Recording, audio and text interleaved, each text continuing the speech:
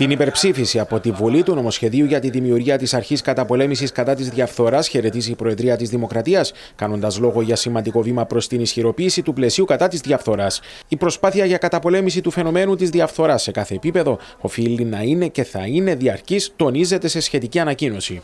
Τόσο η ψήφιση του νομοσχεδίου για την προστασία μαρτύρων δημοσίου συμφέροντος όσο και του νομοσχεδίου για τη σύσταση και λειτουργία της αρχής καταπολέμησης κατά της διαφθοράς συνιστούν σημαντικές μεταρρυθμίσεις οι οποίες θα συμβάλλουν αποφασιστικά στην αντιμετώπιση της διαφθοράς και στην προώθηση της διαφάνειας και της λογοδοσίας εμπεδώνοντας το κράτος δικαίου στον τόπο μας. Στην ανακοίνωση παράλληλα με τις ευχαριστίες του Πρόεδρου της Δημοκρατίας προς την Επιτροπή Νομικών για την αξιοποίηση των εισηγήσεων του, η Προεδρία απευθύνει κάλεσμα και για τις επόμενες μεταρρυθμίσεις. Στο ίδιο πνεύμα, η κυβέρνηση προσδοκά πως η Βουλή θα προχωρήσει το αμέσως επόμενο διάστημα με την ψήφιση των κρίσιμων νομοσχεδίων που αφορούν τις υπόλοιπες μεταρρυθμίσεις οι οποίες σχετίζονται με τον εσυγχρονισμό του κράτους, όπως είναι για παράδειγμα η μεταρρύθμιση της τοπικής αυτοδιοίκησης. Στο ίδιο μήκος κύματος και οι τοποθετήσεις της Προέδρου της Βουλής και της Υπουργού Δικαιοσύνης και Δημοσίας Τάξεως. Δίνουμε τα εργαλεία σε μια ανεξάρτητη αρχή για να ενισχύσουμε τη διαφάνεια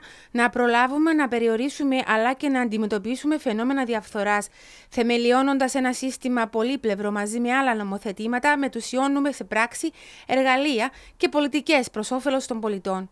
Η χώρα μας συμπεριλαμβάνεται πλέον στον κατάλογο με τις λίγες ευρωπαϊκές χώρες που απέκτησαν ένα σύγχρονο και ολοκληρωμένο νομοθετικό πλαίσιο κατά της διαφθοράς, το οποίο συμβαδίζει με τις απαιτήσεις της Ευρωπαϊκής Ένωσης και του Συμβουλίου της Ευρώπης. Την υπερψήφιση του νομοσχεδίου από την Ολομέλεια της Βουλής χαιρέτησαν επίσης ο Δημοκρατικός Συναγερμός και το Δίκο, καθώς και ο Παγκύπριο Δικηγορικός Σύλλογος.